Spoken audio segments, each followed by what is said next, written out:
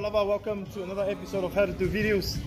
In today's video we decided to film outside of Taumeasina Island Resort and we decided to come here at Piula Kepu. It's 5 tala per person and 5, uh, 10 tala for the vehicle. Enjoy the video while we're gonna have a swim with the boys.